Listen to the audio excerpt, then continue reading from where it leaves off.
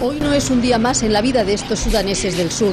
En Cuba, a orillas del Nilo Blanco, los nervios están a flor de piel.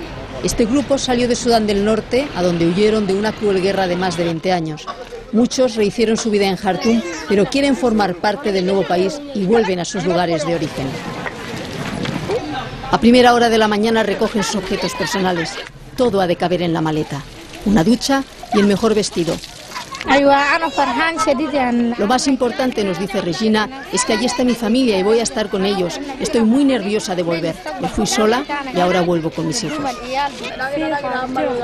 Voy a conocer a mi familia, nos dice su hija Mariam. Es la primera vez que voy al pueblo de mis padres.